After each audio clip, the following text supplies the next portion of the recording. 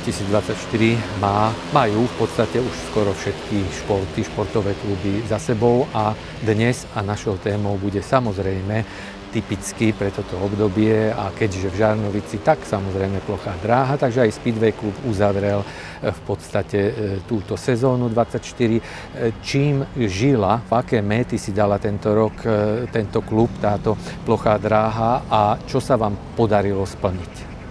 Tak ja som už rád, že teda máme sezónu za sebou, bola opäť dosť náročná.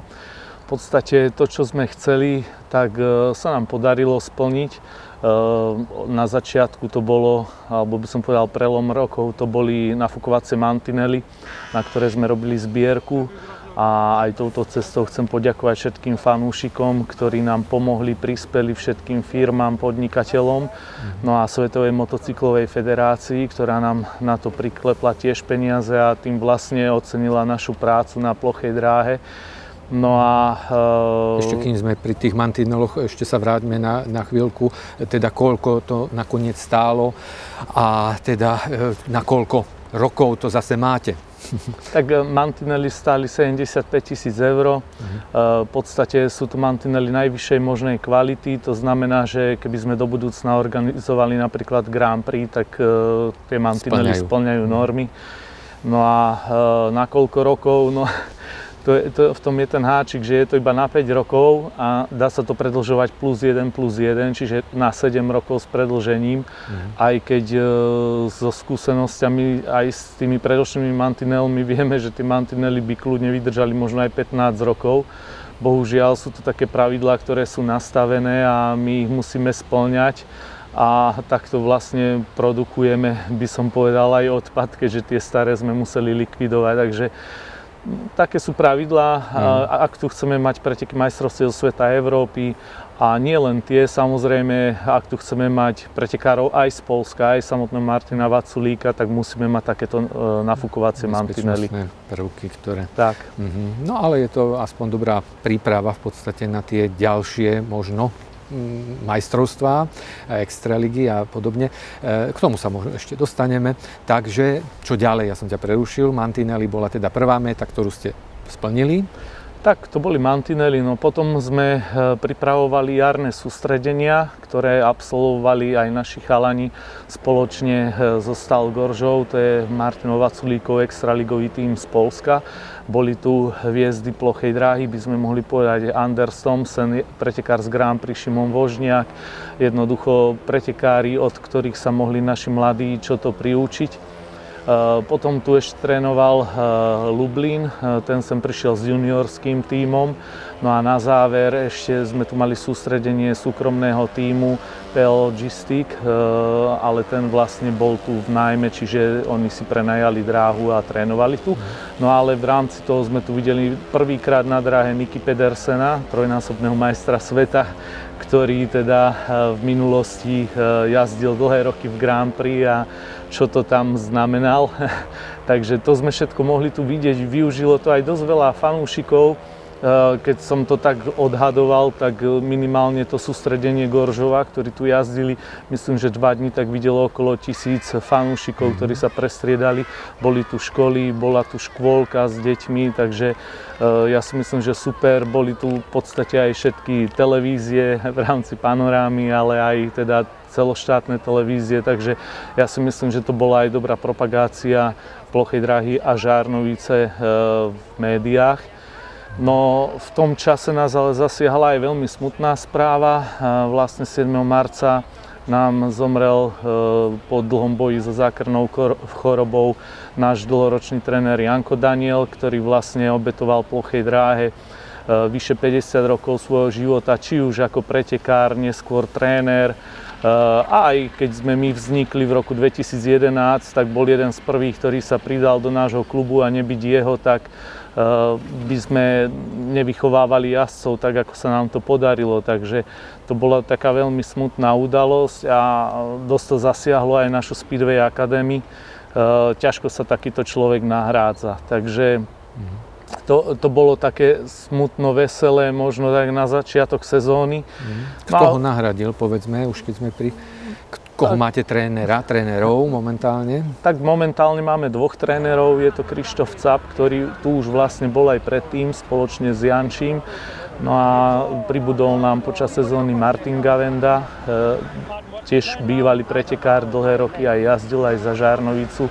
E, pochádza z Moravy, z Březolúb, e, dochádza sem dvakrát do týždňa a nemá s tým problém. Čo nás trošku mrzí, alebo teda čo stále máme taký by som povedal, nedostatok, že nám chýbajú žárnovickí bývalí plochodrážnici, ktorí by teda boli ochotní venovať sa mládeži. Preto jeden tréner dochádza z Ružomberka, tri, ten aj trikrát do týždňa, druhý tréner z Březolub. Radi by sme tu privítali aj niekoho z bývalých e, žarnovických pretekárov, ktorí by nám pomohli vychovať ich nástupcov, Ďalšiu lebo generáciu. jednoducho e, bez toho to nejde. A takisto by sme radi privítali aj e, nových mechanikov. Máme, máme tu Peťa Černeka, ktorý je hlavný mechanik, pomáha nám veľa Milan Jančo, tiež niekdajší mechanik Patrika Búriho a teraz sa tak spojil s Filipom Kasanom. takže, ale stále nám pribúdajú mladí a stále potrebujeme k tomu nejakých ochotných ľudí, ktorí možno si vedia nájsť čas pár hodín týždenne, dvakrát do týždňa sem prísť a spolu s tými deckami robiť na motorkách mm. a učiť ich. Takže... Aj ste oslovili niekoho, myslím z tých starých plochodrážnikov, z tých miestnych? Áno, oslovili sme. E, v podstate väčšinou problém je práca. E, keď sa to nedá zladiť, e, nestíhajú alebo jedno mm. s druhým majú rôzne zmeny v práci a tak ďalej. Takže to, to je väčšinou ten problém. Taká pracovná zaneprázdnenosť. No, podstate aj títo naši tréneri to robia popri práci. Tak mm. Martin Gavenda, ako aj Krištof Cap chodia do práce eh, a musia sem cestovať. V podstate majú z Moravy je to nejaké dve hodiny cesty, Krištof to má hodinu a pol a hore dole, takže, no, to, takže no, tak, no, tak radi by sme privítali mm, ďalšiu pomoc, ešte. aby sme mohli v podstate napredovať aby sme mohli pokryť, dá sa povedať, takú, taký záujem mládeže o to, lebo záujem je veľký. Mm-hmm. O tom možno sa budeme neskôr baviť, keď sme robili aj teraz pred týždňom e, nábor, nábor a tak ďalej. Dobre, takže... necháme si to nakoniec, tak. lebo je to na konci sezóny teda to bolo. Dobre, čo ďalej teda?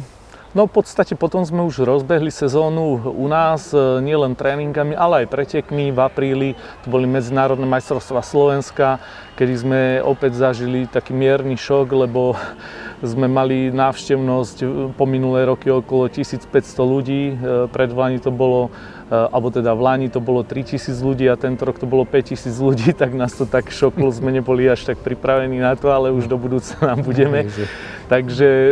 Uh... Čím si to vysvetľuješ? Prečo to je, alebo tak naráslo? Mm. Bol tam niekto taký, čo ho pritiahol tých ľudí? Alebo... Tak tradične tam bol Martin Váculík, ale ten tam bol aj pred no tromi veď... rokmi, keď to bolo 1500 ľudí, takže ja by som to povedal tak, že veľmi nám pomohli priame prenosy Grand Prix v televízii a vlastne veľmi veľa nových fanúšikov nám prichádzalo túto sezónu. Ako taký nárast fanúšikov tých nových Eh, sme ešte nemali. Že, a fakt z celého Slovenska to boli aj telefonáty od Prešova, to boli mm. zo Stupavy, Bratislavy, Trnavy, Nové zámky, hej, že, že jednoducho pomaly z každého kúta Slovenska a eh, myslím si, že to pomohlo, eh, že aj Martin Vasulík samozrejme má tie výkony, aké má, ale hlavne asi tá televízia, že sa to tak spropagovalo a ja si myslím, že Žárnická plocha dráha sa dostala skutočne do povedomia širokej e, športovej verejnosti a nielen športovej, ale možno, že aj, aj takí, ktorí nechodia áno. na plochu dráhu, ale jednoducho odrazu o tom počujú, vidia to v televízii. Jasne. A aj... Maťo, treba povedať, Maťo nevystupuje len v športových reláciách, tak, ale tak, rôznych presne, zábavných, presne. spolu s manželkou trebárs, takže... Áno, áno, takže dosť veľký zásah to má a cítime to aj na našich podujatiach. Samozrejme hlavne, kde štartuje on, aj keď teda aj na pretekoch, kde Maťo neštartuje a kde teda taká kvalitnejšia štartovka, tak aj sem nám prichádzajú noví fanúšikovia, takže to nás šoklo na majstrovstvách Slovenska. Tie samozrejme vyhral Maťo Vaculík, e, tento rok vlastne to bol už jeho šiestý titul, e, čo je zároveň aj takým rekordom, lebo e, druhý najviac má Zdeno Vaculík, má 4 tituly majstrovstva Slovenska Takže v podstate takto sme začali. No a e, pokračovalo sa tam, sme už vlastne začali aj ligovú sezónu. E, tento rok sme jazdili ako SC Dynamax Žarnovica. No a vlastne to sa tak prepletalo s našimi pretekmi, tieto výjazdy, ale to môžeme na záver spomenúť e, k Extralige. No, v máji nás čakali také najvýznamnejšie preteky, podujatie, kvalifikácia do Grand Prix, čiže majstrovstvá sveta. Tu sme opäť privítali niektorých účastníkov, aj bývalých účastníkov Speedway Grand Prix. Boli to veľmi kvalitné podujatia, vysielal to RTVS ako e, priamy prenos a vlastne videli sme trošku tak prežili sme takú šokovú terapiu, keď to Martin Vaculík nevyhral, dokonca ani nepostúpil ďalej aj keď počas sezóny sa ukázalo, že to bolo len drobné zaváhanie a v podstate on sa v Grand Prix udržal vďaka svojmu 5. miestu e, v tej prvej šeske, ktorá garantovala účasť aj na ďalší rok. No a vlastne v Grand Prix kvalifikácii mal smolu, v jednej jazde skončil tretí, jednu jazdu nedokončil pre technické problémy.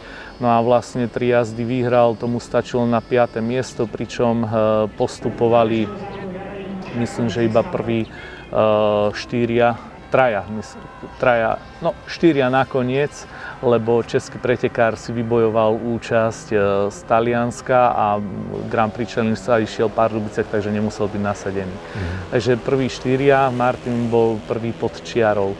No a vlastne e, takto sme sezónu pokračovali ďalej a to sme sa už pripravovali na júl, kedy vlastne sme tu prvýkrát e, privítali účastníkov pretekov na 125-kách.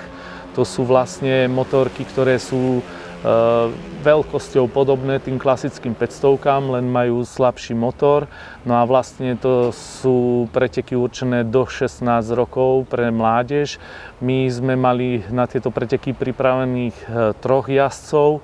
Eh, bohužiaľ, myslím, že nejaký týždeň predtým sa zranila Anička Hajková, ktorá sa veľmi tešila na tieto preteky a nemohla štartovať a nakoniec sa predstavil teda iba Marek Ziman a Jarko Hajko. Eh, boli to eh, najprv majstrovstva Európy, 125 eh, károv a na ďalší deň, čiže to bolo sobotu a nedelu 21. júla, to boli majstrovstva sveta 125. Čiže sme tu mali, dá sa povedať, najlepších celého sveta, ktorí tu štartovali v tých e, najmladších kategóriách. To vie, možno o 10 rokov niekto z nich bude majster sveta v Grand Prix, takže Eh, mohli sme tu vidieť eh, kvalitných pretekárov z rôznych krajín. Eh, najlepšie sa ukázali Poliaci, ale namiešali karty trošku aj Nemci a naši sa tiež nestratili, skončili prvý deň Jarko Hajko tak v polovici štartovného pola, Marek Ziman trochu v začie a potom druhý deň to už bolo lepšie aj s Marekom tiež tak v polovici štartovného pola, čo je veľmi, by som povedal, dobrý úspech, lebo naši pretekári možno, že z tých, ktorí tu štartovali, mali najmenšie skúsenosti s, takýmto, uh, s takýmito pretekmi. Takže to A sme veľmi tomu radi. Ne, nekončili na posledných tak, miestach. Tak, takže... takže my sme spokojní. No potom sezóna pokračovala. V auguste, v polke augusta sme organizovali zase pohár priateľstva už tradične formou dvojíc a spolu s ním e, tu boli ešte preteky majstrovstiev e, Českej republiky 125 konkrétne jedno, myslím, že desiatich kvôl šampionátu sa tu zorganizovalo.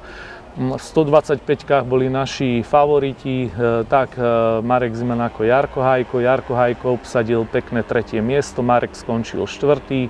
No a v pohári priateľstva sme tak tajne dúfali, že eh, Jakubovi Valkovičovi s Sebastianom Kesslerom sa podarí obhájiť už tretíkrát v rade eh, víťazstvo v pohári priateľstva. Bohužiaľ sa im nepodarilo, skončili druhý, ale si myslím, že aj to je celkom pekný úspech. No a potom teda už sme to nejak tak preklopili do druhej, eh, alebo by som povedal do záveru sezóny a tam nás čakal vrchol dá sa povedať v podobe finále Extraligy, e, Českej Extraligy, ktorej sme štartovali ako SC Dynamax Žarnovica. V momente, žar, e, alebo teda pred žarnovickými pretekmi sme boli prví o jeden bod e, pred Pardubicami a v podstate rozhodovalo sa o titule takým spôsobom, že kto bude vyššie, či my alebo Pardubice, tak ten bude majster. My sme v podstate v tejto štvorkolovej súťaži začínali v Prahe ešte teda na jar, tam sme, tam sme obsadili druhé miesto, v Pardubiciach sme potom zvíťazili a v treťom kole v Slánom sme boli opäť druhý. Tým, že sme sa stále držali na prvých, druhých miestach, tak vďaka tomu sme teda mali ten jednobodový náskok pred Pardubicami. Náš tým bol zložený e, z Martina Vaculíka, Jakuba Válkoviča. Na záver tu na pozícii juniora sme mali Filipa Kasana a doplnení boli o Artema Lagutu, majstra sveta z roku 2021 a v podstate druhého najlepšieho v našom týme po Vaculíkovi No a e, Sebastiana Kesslera, ktorý je síce Rakúšan, ale na záver jazdil s našou licenciou a je to chalan, ktorý vyrastal aj na našej plochej dráhe v minulosti, keď teda začínal, tak tu veľa chodil na tréningy. No a na posledné kolo nás ešte vystúžil Bartolomej Kovalský, polský plochodrážnik kvalitný a e, aj on, má, on je úzko spätý so Žárnovicou, tiež tu v začiatkoch trénoval, bol na sústredení s našimi chalanmi, s tou našou by som povedal predošlou garnitúrou alebo generáciou, ako bol Patrik Búry, Michal Tomka, Adam Čarada, mm-hmm. Janči Mihálik a títo, takže on v podstate s nimi začínal a teraz sa tak ukázal taký kolegiálny a prišiel nám pomôcť a dá sa povedať, že v podstate on tri jazdy vyhral, bol neporazený, takže výrazne prispel k nášmu víťazstvu aj celkovo v Extralige, čo je vlastne taký historický moment Žarnovickej plochej dráhy, lebo sa to stalo prvýkrát, že Žarnovica vypalila rybník e, českým súperom, tak to sme veľmi radi. Aj keď tie posledné preteky nám trošku pokazil fakt, že týždeň predtým si Maťo Vaculík zlomil kľúčnú kost, nemohol štartovať.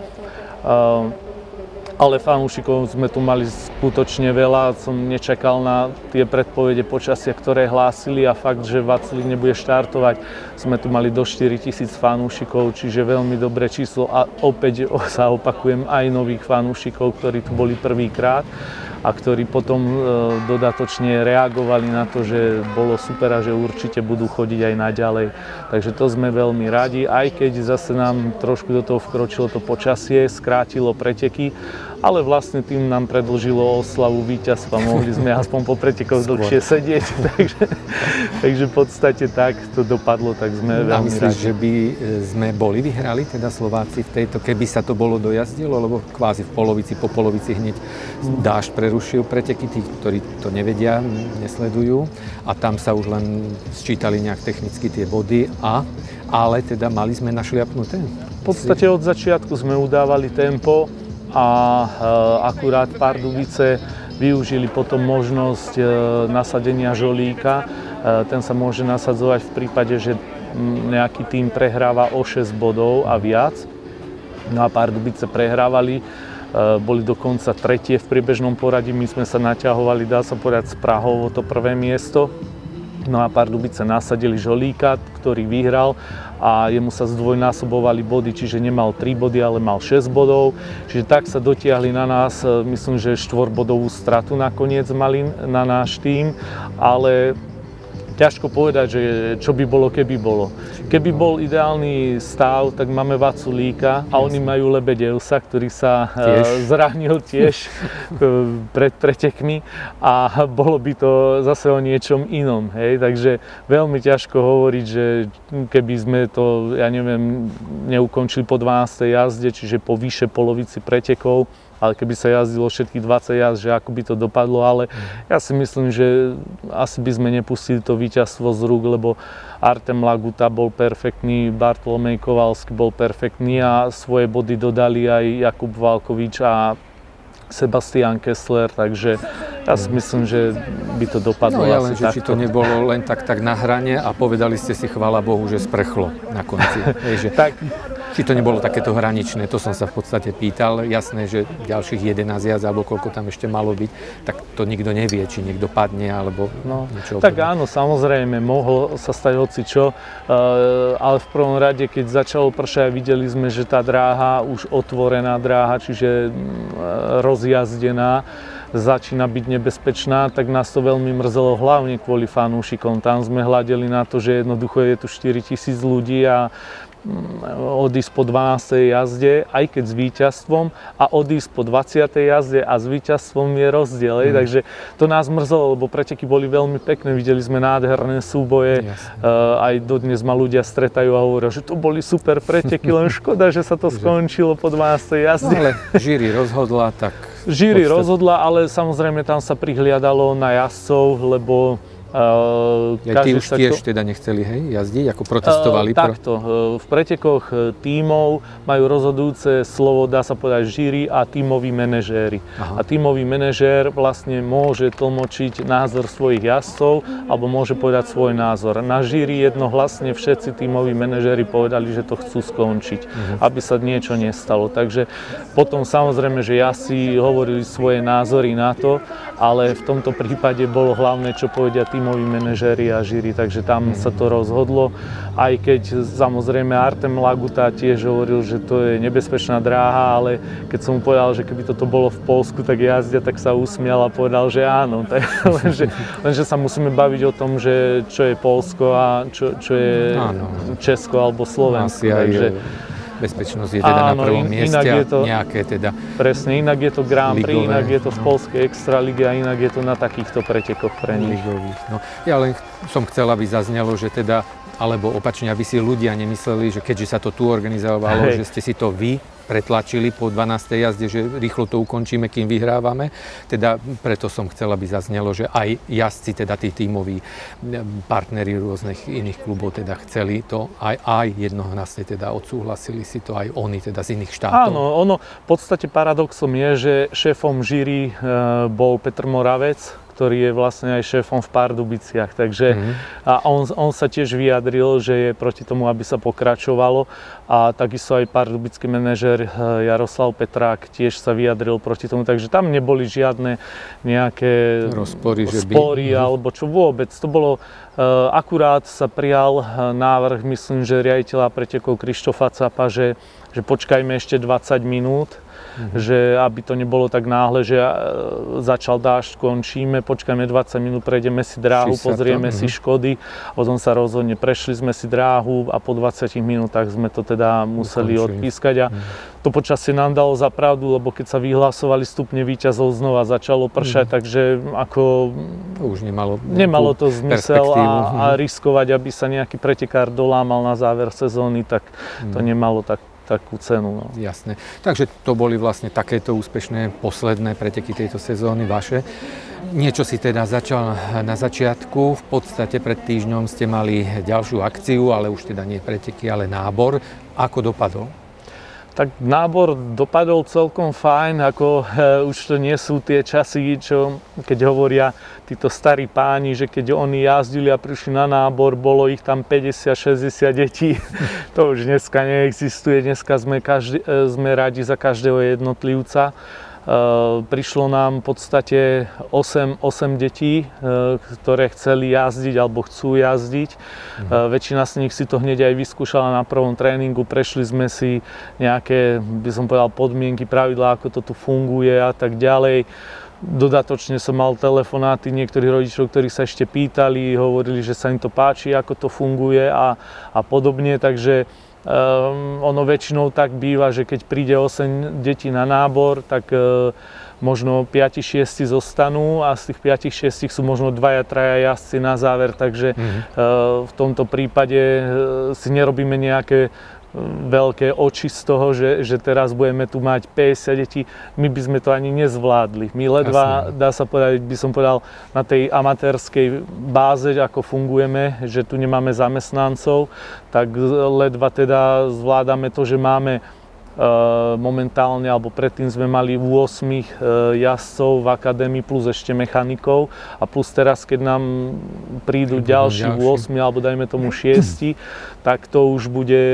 Na hrane. A, mhm. no a možno, že aj za hranou uvidíme. je to, čo sme sa na začiatku rozprávali, Áno. že teda by ste potrebovali nejaké... Potrebovali by sme jednak trénerov. aj ľudí a potrebovali by sme potom aj väčšie priestory. Ako hmm. sme radi, mesto nám veľmi vychádza v ústrety, ale aj mesto má svoj svoje nejaké limity a jednoducho tiež tu nevieme vyčarovať e, trikrát väčšiu dielňu, než mhm. máme e, v DP ale uvidíme, ja, budeme si musieť sadnúť s trénermi, s mechanikmi a trošku si to prejsť, možno rozdeliť tie deti na teda už tých jazdcov, ktorí jazdia, plus a mimo tých, za, e, tých začínajúcich. A máme už nejaké plány na, na zimu. E, teraz vlastne v sobotu sa uskutoční posledný tréning na dráhe v tejto sezóne potom chceme skladať dole nafukovačky a už potom e, deti budú chodiť e, v stredy, už nebudú mať e, teda tréningy Jazdy. také klasické, ale budú mať iba kondičné a v soboty zase budú mať prácu v dielni a plus kondičné tréningy, mm. takže takto chceme prečkať zimu, uvidíme, čo sa podarí, ako to všetko dopadne. Ale určite je to super, keď napríklad už túto sezónu sme zažili prvé úspechy s mladými, ktorí štartovali na pretekoch z tých 125 najmä v majstrovstvách Českej republiky, kde vlastne v tom záverečnom 10-kolovom šampionáte Jarko, Marek Ziman skončil na treťom mieste a Jarko Hajko na štvrtom mieste, čo je určite nádherný výsledok. Mrzí nás akurát to, že vlastne E, bolo to také neoficiálne, lebo v Česi e, vlastne v konečnom poradí vyškrtávali všetkých zahraničných účastníkov a rátali iba svojich, svojich jazdcov. Ale môžeme povedať, že boli tretí najlepší, tretí, štvrtý najlepší v šampionáte. Dobre by skončila určite aj Anička Hajková, len tá mala zranenie, takže veľa pretekov mhm. vynechala. Marek Ziman dokonca na záver sezóny dokázal posledné kolo v Slanom vyhrať, čo nás tak veľmi milo prekvapilo, porazil, dá sa povedať, Karla Prúšu a Jakuba Hejkala, kvalitných a skúsených pretekárov v tejto Jasne. kategórii. Potom e, naši štartovali aj v pretekoch 500R, to sú klasické motorky, ale dá sa povedať e, s takým tlmeným výkonom motora cez karburátor. Uh-huh. Sa tam vkladá taká vložka, jazdí sa to v Polsku, je to kategória do 15 rokov. Tam štartoval uh, najprv Filip Kasan, potom aj Jarko Hajko v jedných pretekoch a teraz na záver aj Marek Ziman si to vyskúšal. No a Filipka sa absolvoval, dá sa povedať, väčšinu sezóny na klasickej 500 preteky, e, zbieral skúsenosti, takže sme veľmi radi, že sa to takto rozbehlo. Plus tam máme v podstate ďalších dvoch adeptov, ktorých by sme chceli od jary, respektíve od leta budúcej sezóny zapojiť do pretekov, takže ako tá budúcnosť je dobrá, len e, vravím, že treba nám na to ľudí, ktorí budú pomáhať a samozrejme potrebujeme stále nejakých sponzorov. Tu sa chcem poďakovať teda našim sponzorom, chcem sa poďakovať všetkým fanúšikom, ktorí platia vstupné a vlastne aj to vstupné nám pomáha Jasne. udržiavať tú plochu dráhu, respektíve Speedway Academy. Chcem sa poďakovať mestu Žarnovica, ktorá nám vychádza v ústretí vo všetkom podstate, čo si vymyslíme alebo čo potrebujeme. vo všetkom, čo potrebujeme. Takže je to super, že takýmto spôsobom tu dokážeme e, fungovať a vychovávať mládež. A ešte sa aj rozvíjať. E, nespom- nespomenuli sme, ale keďže sa blížime e, na koniec tejto relácie, chcem, aby to zaznelo. Nespomenuli sme to, ale aj teda na posledných starelgových e, pretekoch ste robili zbierku pre Jančiho Mihálika. E, povedzme teda najprv teda pre tých, ktorí nevedia, čo sa mu stalo, teda je to bývalý mladý pretekár a e, prečo teda robíte zbierku pre neho? Tak e, v podstate Janči e, bol súčasťou nášho klubu od jeho vzniku v roku 2011, kedy začínal aj s tréningami. Postupom času, ako dosiahol 15. E, rok života, tak začal jazdiť s licenciou, odjazdil niekoľko sezón, reprezentoval Žárnovicu aj Slovensko, dá sa povedať vo vyše 100 pretekoch doma aj v zahraničí. Postupom času vlastne myslím, že 3 roky dozadu ukončil svoju činnosť. No a e, stala sa mu taká vec, že mal nehodu tu v Žarnovici na motorke, ale už teda nie na plochej dráhe, ale na klasickej, na cestnej kde vlastne nezavinený, mal nezavinený pád, pri ktorom si teda poškodil chrbticu. Od, od vtedy je priputaný na invalidný vozík, aj keď teda on dúfa, my tiež dúfame a vyzerá to tak, že by to nemalo byť natrvalo, mhm. ale e, podstupuje náročnú rehabilitáciu, ktorá je náročná nielen pre neho fyzicky, ale aj finančne, e, kde si vlastne bude musieť platiť túto rehabilitáciu. Momentálne no na Kováčovej, môžeme Momentálne povedať. ešte na Kováčovej, ale e, potom bude chodiť na rehabilitácie do Banskej Bystrice a tam teda si už bude musieť za to platiť. No a my sme sa rozhodli mu pomôcť, lebo však e, toľké roky a toľko pretekov za nás odjazdil, respektíve za Žárnovicu, tak sme teda e, spoločne s ním sme vymysleli zbierku. Zbierka sa robí ešte stále v súčasnosti cez Donio a vlastne zbierku sme robili aj tu na pretekoch. E, vyzbieralo sa e, do 2000 eur, ktoré mu teda ešte, e, keď príde do Žárnovice, lebo odišiel na Kováčovú, tam je od pretekov v podstate v kuse, keď sa vráti, tak mu budú tieto peniaze odovzdané. Veľmi pekné gesto urobil aj spomínaný Bartolomej Kovalský, ktorý hovoril, že on s ním na začiatku aj jazdil, aj trénoval a zriekol sa polovice svojho honoráru za extraligu, čo si tu vyjazdil mm. v jeho prospech. Takže veľmi pekné gesto, e, ktoré si určite aj my vážime a v podstate by som mohol povedať, že aj týmto gestom, aj tým výkonom na dráhe si Kovalský vyjazdil alebo zaslúžil, že budúci rok, keď budeme jazdiť Extraligu, tak bude súčasťou nášho týmu na celú sezónu. Jasne. Dobre, sme v závere tejto relácie, takže tradičná otázka o takomto čase, čo rok budúci. Začneme, začneme ale tým, lebo viem, že ste boli teraz nie tak dávno na ministerstve a niečo ste si teda odtiaľ doniesli, myslím, slúb. tak e, v podstate našou snahou je vždy e, nejak tak dať od sebe vedieť, lebo náš väčší problém ako plochej dráhy je ten, že sa vymýkame, dá sa povedať, veškerým pravidlám, ktoré sú nastavené napríklad len na dotácie a projekty na podporu tohto športu, hej, lebo väčšinou je to šité na športy, ktoré sú masové, Eh, kde, kde je veľmi veľa športovcov, kde vlastne tá popularita je veľmi vysoká a podobne. A s týmto sme vždy mali problém. A preto sme sa vždy snažili dostať na ministerstvo a kompetentným osobám vysvetliť, kto sme, čo sme a že jednoducho my sa tam nehodíme, ale Jasne. tú pomoc potrebujeme. No a teraz sa nám podarilo e, na novovzniknuté ministerstvo e, cestovného ruchu a športu e, v podstate nadviazať s nimi kontakt. Boli sme tam už, dá sa povedať, na jar u štátneho tajomníka, ktorý teda vyjadril taký, by som povedal, aj obdiv, aj takú chuť nám pomôcť, aj teda dal nám za pravdu, že tie pravidlá, ktoré sú ušité možno na iné 80, masové, šport, áno, šport. 80% športov sa nehodia na nás.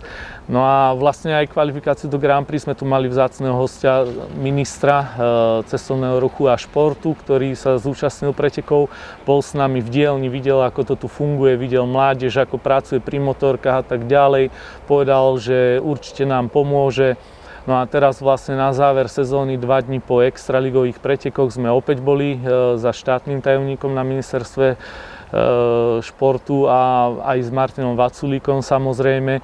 A riešili sme e, ďalšie možnosti. Jedna, jedna z nich by bola organizácia Speedway Grand Prix tu v Žarnovici, e, ale aj s tým spojená nejaká rekonštrukcia infraštruktúry, respektíve tu štadióna, lebo organizovať Grand Prix na našej dráhe to nie je iba teda o nových nafukovačkách, ale je to aj o ďalších veciach, ktoré nemáme a je nám hmm. treba Ako technických podmienkach, ktoré áno, musí máme a treba štadión. Ich vynoviť. Tak, presne. Takže toto sme riešili. Vyzerá, že sme dopadli e, celkom dobre. Bol nám daný prísľub, že ministerstvo plánuje e, vlastne podporiť túto rekonštrukciu, respektíve ju financovať. Takisto nás e, podporili aj v prípadnej organizácii Grand Prix Takže slúb tam je. E, skúsenosť je taká, že tento rok nám, čo nám slúbili, tak zatiaľ splnili, tak veríme, že to takto bude ďalej a že budúci rok tu prebehne nejaká rekonštrukcia Konkrétne veci ešte nechcem hovoriť, pokým nie sú podpísané zmluvy Jasne. a podobne. To už potom skôr asi e, pani nás... primátorka sa k mhm. tomu vyjadri, lebo vlastne e, majetok Are, areálu je, mestský, samozrejme, áno, je to váš, mestský takže majetok, takže v podstate podnajme. pôjde to mhm. cez mesto, takže to už potom skôr o nás povie bližšie mm. veci k tomu, a my sa možno tiež a vyjadríme. Hlavne, hlavne keď to bude isté. Tak, a tak. budú vedieť, že koľko teda dostanú, myslím, mesto. Hej. Tak, takže v podstate dopadlo to dobre a mm-hmm. veríme a dúfame, že to tak aj bude. tak zostane. Dobre, teda čo budúci rok, čo chystáte? Náražam na preteky. No, to je ešte ťažko povedať, lebo... No, ale podstate, teda budú nejaké? E, áno, Aspoň. áno, tak e, máme v riešení rôzne preteky. E, v podstate O tri týždne prebehne zasedanie komisie Svetovej motocyklovej federácie pre plochu dráhu, kedy sa rozhodne napríklad o preteku majstrovstiev sveta na ďalší rok. Takže to sa dozvieme, či budeme mať kvalifikáciu do Grand Prix, o ktorú znova žiadame, lebo je to v podstate tak, sú to top preteky e, vždy tu v Žarnovici. E, takisto by sme chceli niečo z majstrovstiev Európy zase pre mladých e, na klasických 500 Pravdepodobne by to mohlo byť semifinále majstrovstiev Európy juniorov. No, samozrejme majstrovstva Slovenska medzinárodné budeme organizovať. Uh, chceli by sme jazdiť aj Extraligu, tam už vyjadril chuť ísť do toho aj Maťo Vaculík, aj Artem Laguta, aj Bartek Kovalsky, takže mm-hmm. vyzerá, že by sme do toho išli. No a nejaké juniorské preteky samozrejme pre našich mladých, aby mohli na našej drahe jazdiť s takou svojou konkurenciou. No a novinkou bude, že budeme organizovať prvýkrát my teda Zlatú prílbu Slovenského národného povstania, ktorú nám odovzdáva auto, Automotoklub Plocha Dráha Žárnovica e, a tá by mala byť e, tradičný dátum e, poslednú augustovú nedelu. Mhm. Dobre, ale o tom O konkrétnych termínoch sa určite porozprávame potom zase na jar, keď už teda budete aj vy vedieť presne teda čo a kedy. Takže pre túto chvíľu ďakujem, ďakujem za fanúšikov, za sezónu a samozrejme aj za tento rozhovor. No a my veľmi pekne ďakujeme aj televízii Panoráma za pomoc, spoluprácu a propagáciu našich podujatí. Rado sa stalo.